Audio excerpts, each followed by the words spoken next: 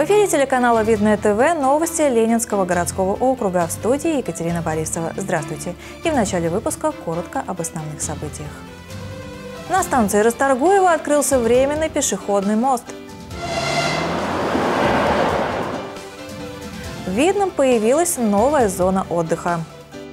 Для нас важно действительный комфорт и удобство для самого жителя, и мы это замечаем, и в данном случае будем идти дальше в этом направлении. Прививку от гриппа теперь можно сделать у железнодорожной станции Расторгуева. Считаю, что это очень удобно, потому что я вот лично шла на работу, шла мимо, увидела машину.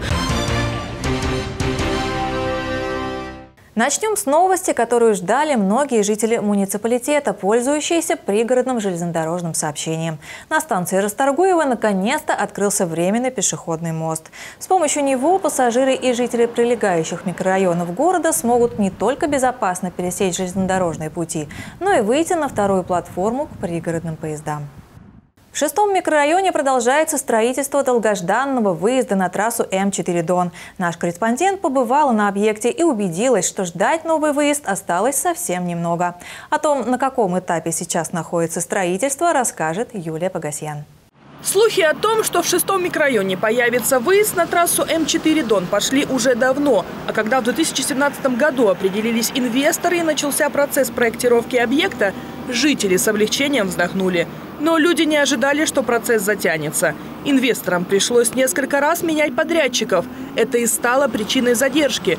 Да и участок, как оказалось, непростой. Улицы в 1400 метров а, с множеством пересечения коммуникаций, с множеством пересечения свалок, оврагов, речка, а, границы участков, которые не выведены под а, в красных линиях, это участок собственников. То есть пока решался вопрос с собственниками земель. Но все эти трудности удалось решить. Сегодня на участке работает порядка 25 единиц техники. Представители компании-подрядчика утверждают, процесс не останавливается даже в плохую погоду. А застройщик обещает, что к концу этого года здесь уже будет что-то более похожее на привычное понимание о дороге.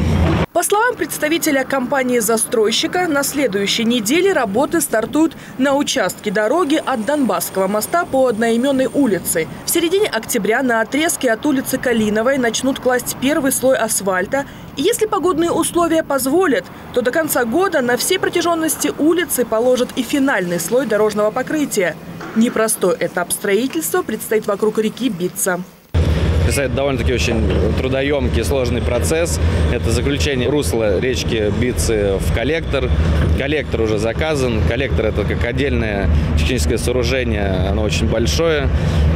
Порядка двух месяцев займет работы по установке трубы и заключения речки Бицы. Параллельно со строительством дороги ведутся работы по созданию вдоль улицы тротуара, установки бордюров и столбов освещения.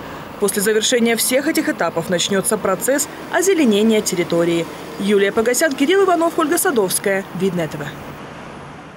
В городе Видное, благодаря совместным действиям администрации муниципалитета и социально ориентированному бизнесу, появилась новая пешеходная зона. Она прошла от офиса Сбербанка на Советской улице до нового торгового комплекса «Галерея 918». Побродила по недавно сделанным дорожкам и наша съемочная группа.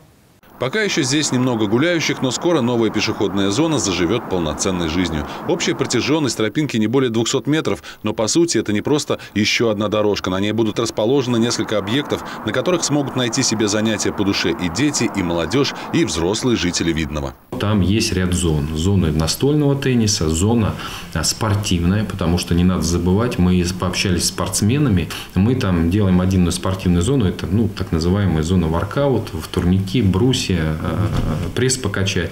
Ну и чуть дальше, если левее идти, э, мы делаем, конечно же, и детскую площадку. Это для мамочек важно. Проектирование пешеходной зоны началось в мае нынешнего года. Строительство уже в июле. Эта дорожка соединит центр города с храмом Александра Невского и новым торговым центром, открытие которого планируется совсем скоро огромное количество людей, это архитекторов, проектировщиков, дизайнеров, идеологов. Это, это команда, которая работала над идеей этого объекта для того, чтобы жители получили яркую изюминку, яркую доминанту города. Во время недавней акции «Наш лес. Посади свое дерево» здесь дополнительно высадили березовую аллею. Глядя на эти ухоженные тропинки, уже не представляешь, как все выглядело без них. Мы живем в этом доме и гуляем с малышом в этом замечательном парке. Раньше тут, конечно, было не очень хорошо, теперь стало отлично. Что здесь было? Ничего не было, бомж-притон тут был. На днях начнется установка малых архитектурных форм, возведение детской площадки и спортивных тренажеров. Все работы планируется закончить уже к середине октября. Для нас важно действительный комфорт и удобство для самого жителя, и мы это замечаем, и в данном случае будем идти дальше в этом направлении, побольше таких создавать зон. Это наша основная задача, с которой мы должны дальше идти. Этот проект стал еще одним шагом в развитии пешеходной инфраструктуры города Видное. Максим Козлов, Кирилл Иванов, Александр Логинов, Ольга Садовская. Видное ТВ. Видновское пассажирское автотранспортное предприятие отметило юбилей. Ему исполнилось 60 лет. За многие десятилетия компания зарекомендовала себя надежным перевозчиком и сейчас входит в структуру Мострансавто. На торжественном мероприятии чествования коллектива ПТП побывал наш корреспондент Дмитрий Книга. Сотрудники Видновского пассажирского автотранспортного предприятия собрались вместе в Доме культуры «Буревестник» на торжественный вечер по случаю 60-летия своей организации.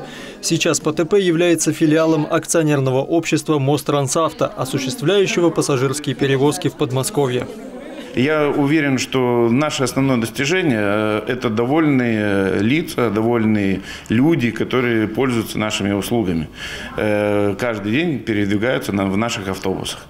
Э, вот, наверное, основное достижение, что мы на сегодняшний день, здесь можно прибавить цифры, минимальное количество жалоб получаем именно по работе Мострансавто.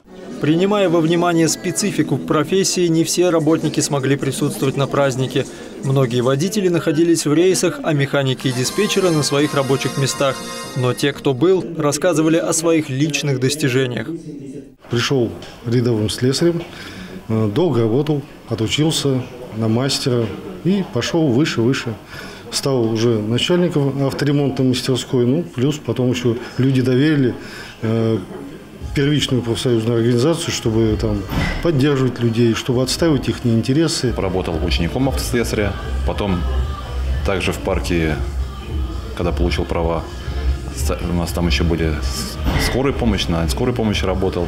И потом подучился на, на автобус и стал водителем автобуса, также работаю, продолжаю. Не забывает предприятие и своих ветеранов к настоящему моменту, уже вышедших на пенсию. Евгений Харламов работал водителем с 1969 года.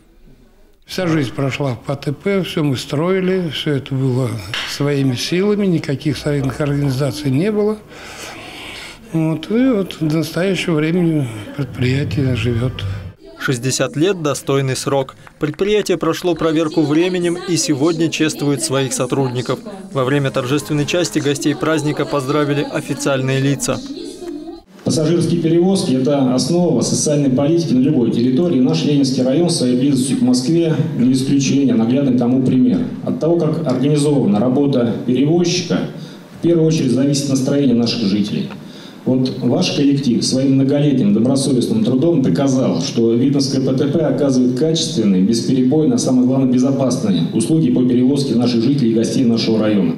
За многолетний труд и вклад в развитие автотранспортной отрасли муниципалитета работники ПТП были награждены благодарственными письмами и почетными грамотами. Поверьте мне, от того, как человек вошел в автобус, приехал на пункт своего, так сказать, назначения и дальше пошел на работу и обратно зависит очень многое. А настроение виновников торжества в этот вечер поднимали творческие коллективы нашего муниципалитета. Дмитрий Книга, Александр Логинов, Елена Кошелева. Видное ТВ.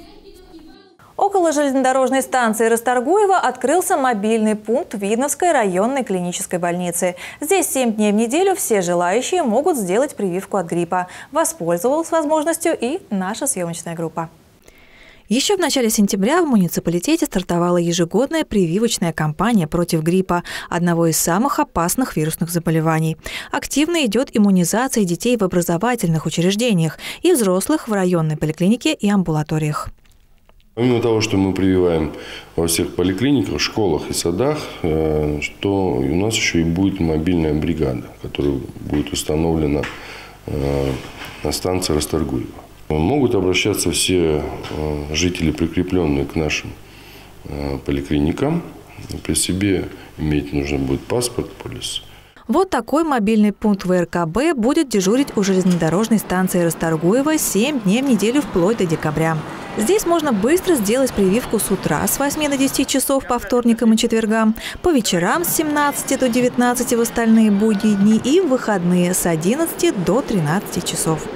Главное, чтобы человек пришел здоровый, в это время не болел каким-то вирусным заболеванием, без обострения хронических заболеваний. Для людей, которые часто болеют гриппом, желательно делать прививки ежегодно. Противопоказание только одно – непереносимость куриного белка, который входит в состав вакцины. Тем же, кто не страдает от аллергии, можно смело прививаться. Готова делать прививку? Готова.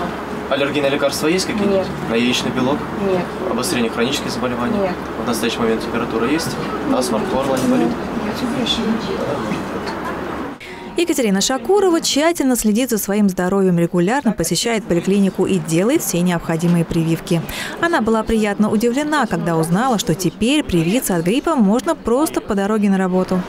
Считаю, что это очень удобно, потому что я вот лично шла на работу, шла мимо, увидела машину, подошла, спросила, узнала то, что делают прививки от гриппа. Я в этом году еще не прививалась, так прививаюсь ежегодно. Ну и, собственно, вот по пути на работу сделала. Всем советую. Мы тоже воспользовались возможностью защитить себя от опасного вируса и сделали прививку. А потом как? Вот мне как-то нужно специально за ней ухаживать? Не мочить, там, не знаю, Нет, не тереть? мочить можно, тереть не надо, Можно, да? давить не надо. В этом году от гриппа прививают трехкомпонентной вакциной Совигрипп российского производства. На данный момент почти 17 тысяч жителей муниципалитета уже сделали прививки от этого опасного заболевания. Медики ожидают, что в этом году их число достигнет 44 тысяч. Екатерина Борисова, Кирилл Иванов, Елена Кошелева, Видное ТВ. Самый лучший метод запоминания чего бы то ни было для детей, конечно же, игра. Этот вид деятельности активно используют в детских садах сотрудники ГИБДД, проводя мероприятия по изучению правил дорожного движения.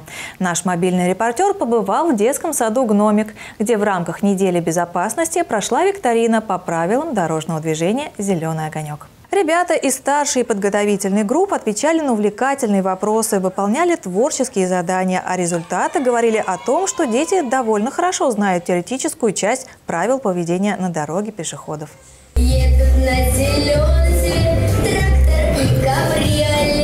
По окончании мероприятия все участники получили от сотрудников ГИБДД светоотражающие элементы в подарок. И это все новости на сегодня. С вами была Екатерина Борисова. До встречи.